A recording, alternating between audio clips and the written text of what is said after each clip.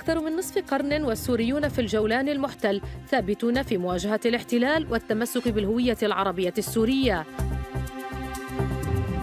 فماذا أرست مواجهة رفض مشروع المراوح؟ وإلى أين تسير الأمور؟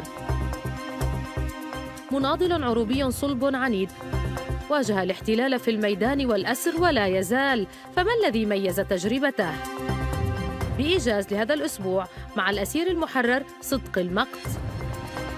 بإيجاز يأتيكم الاثنين الساعة الثامنة والنصف مساء بتوقيت القدس الشريف.